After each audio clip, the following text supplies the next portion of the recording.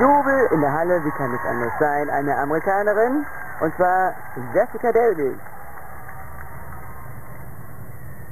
Sie hat drei Plätze gut gemacht, im Moment 24. Das heißt, noch vier Plätze und sie wäre morgen dabei. Beim Halbfinale.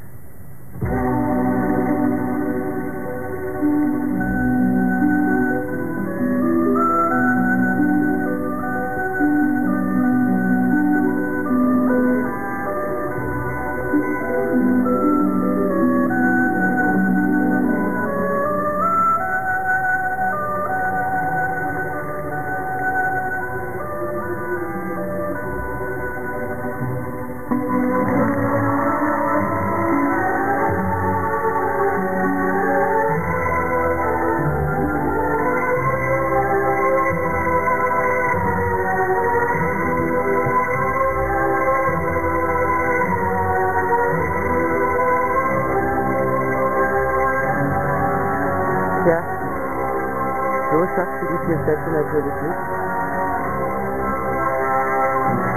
Jetzt noch einmal motivieren, zeig alles. Zeig alles, was du kannst, Jessica Davis.